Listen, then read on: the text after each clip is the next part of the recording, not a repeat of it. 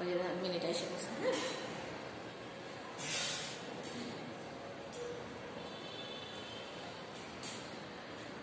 আসসালামু আমি শিবু সিকদার জুলাই মাস্টার মাস্টার আদর্শ উচ্চ বিদ্যালয় কর্তৃক অনলাইন ক্লাসে শিক্ষার্থীরা তোমাদের সবাইকে স্বাগত জানাচ্ছি। আজকে আমি তৃতীয় শ্রেণির প্রাথমিক বিজ্ঞান বিষয়ে ক্লাস নিব। শিক্ষার্থীরা, আজকে তোমাদের প্রাথমিক বিজ্ঞানের প্রথম ক্লাস শুরু হচ্ছে। তাহলে চলো আজকে আমরা বই পরিচিতিটা একটু জেনে নেই এবং এই বইয়ের প্রথম অধ্যায়টা একটু রিডিং করে নেই। শিক্ষার্থীরা, তোমরা দেখতে পাচ্ছ, এটা হচ্ছে তোমাদের প্রাথমিক বিজ্ঞান বই। দেখো, এটা দ্বিতীয় শ্রেণির প্রাথমিক বিজ্ঞান বই। এই বইটা তোমাদেরকে অনেক সুন্দর রঙিন ছবি দিয়ে তোমাদেরকে দিয়েছে, যাতে তোমরা পড়ার, পড়াশোনায় আগ্রহ বোধ করো। তাহলে চলো আমরা আজকে এই বিজ্ঞান বইটা খুলি। দেখো, প্রথমে আছে অধ্যায় এক, আমাদের পরিবেশ। আমাদের পরিবেশ, আমরা কি পরিবেশ ছাড়া বাঁচতে পারি?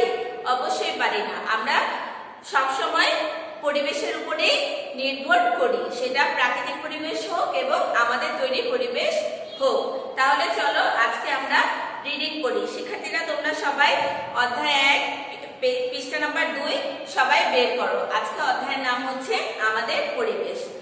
আমাদের চারপাশে রয়েছে বন্ধু বান্ধব গাছপালা পশু পাখি মাটি, পানি, বায়ু, সূর্যের আলো, ঘরবাড়ি ইত্যাদি।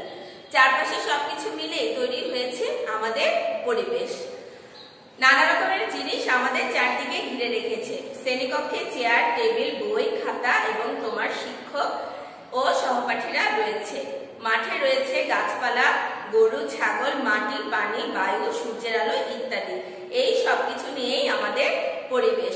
দেখো, আমাদের বইয়ে খুব সুন্দর দুইটা ছবি আছে। এখানে ছবি আছে, আমরা যেটা পড়লাম, সেটা হচ্ছে আমাদের চারপাশে কি আছে? গাছপালা, ঘরবাড়ি পশু পাখি সূর্যের আলো, গরু, ছাগল, ঘাস, এগুলো নিয়ে কি আমাদের পরিবেশ। আর এখানেও দেখো একটা ছবি আছে আছে আমাদের চারপাশে গাছপালা আছে, শ্রেণীকক্ষ আছে, তারপরে সূর্যের আলো আছে, ঘরবাড়ি আছে। শিক্ষার্থীরা, তোমরা সবাই দেখতে পাচ্ছ তো, তাই না? আচ্ছা এবার আমরা পৃষ্ঠা নাম্বার চার পড়ব। পরিবেশের উপাদানগুলোকে আমরা দুই ভাগে ভাগ করতে পারি। পরিবেশের উপাদানকে আমরা কয় ভাগে ভাগ করতে পারি?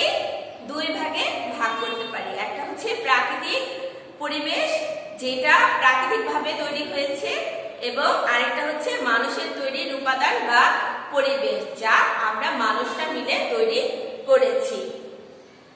পরিবেশের এই উপাদান অনুসারে আমরা দুই ভাগে ভাগ করতে পারি, যেমন প্রাকৃতিক পরিবেশ এবং মানুষের তৈরি পরিবেশ। আমরা যে পরিবেশে বাস করি, তাতে এই দুই ধরনের পরিবেশই রয়েছে। এবার চলো শিক্ষার্থীরা, তাহলে আমরা জেনে নিই প্রাকৃতিক পরিবেশে কি আছে।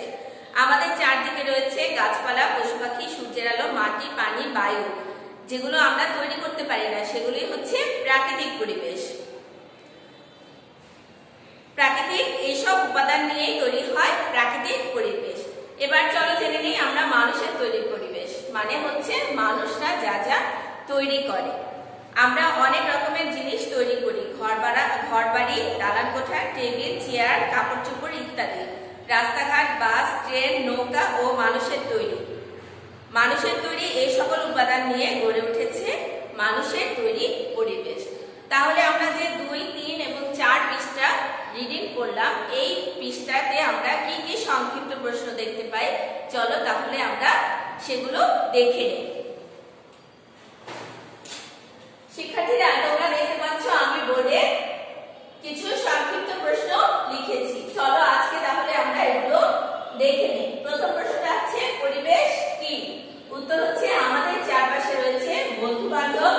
গাছপালা পশু পাখি মাটি পানি বায়ু সূর্যের আলো ঘর বাড়ি ইত্যাদি।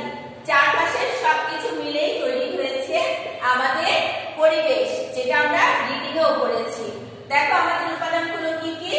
বন্ধু বান্ধব গাছপালা পশু পাখি মাটি পানি বায়ু সূর্যের আলো ঘর বাড়ি ইত্যাদি। চারপাশের সব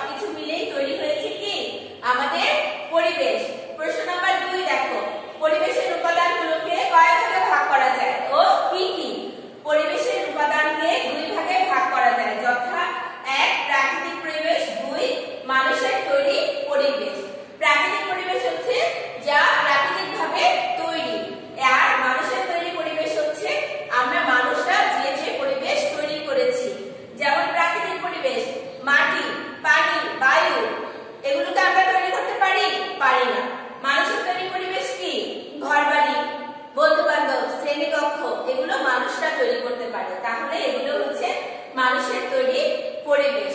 শিক্ষার্থীরা, তোমরা সবাই বইয়ের রিডিংগুলো ভালো করে পড়ে নিবে তাহলে প্রশ্নের উত্তর খুব ভালোভাবে বুঝতে পারবে। তাহলে আজকে এই পর্যন্ত